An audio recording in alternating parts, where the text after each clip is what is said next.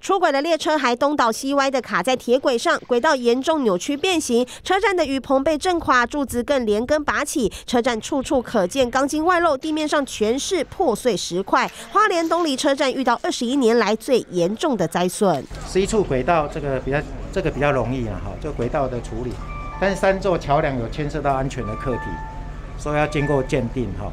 他们现在初步估计要一个月以上的时间。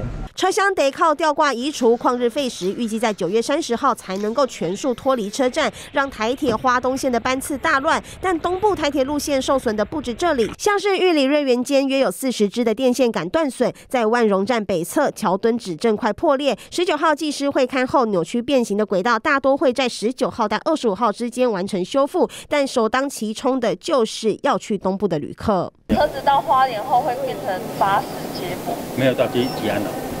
就到花莲。台铁人员耐心说明，一早台北车站柜台民众大多要来换票退票，南下的民众只能先在花莲站下车，再转接驳巴士。说好的旅程全泡汤。我船是十二点半的船，那他说十点的话会到花莲，可以让我接。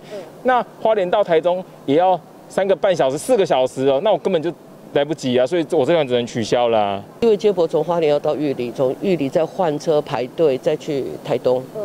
所以变成可能对对旅游团员们来讲会有一些压力在吧？我所以我现在在紧急调动华联当地的业者，看能不能配合。成团旅客不得已败兴而归，面临的还有无法退款的船票和饭店损失，只能由领队自行吸收，民众则随机应变。回程之后再看，希望抢抢通好吧。地震频频，民众哀嚎，台铁紧急寄出配套，盼把影响降到最低。进行问，黎婷、钟成良采访报道。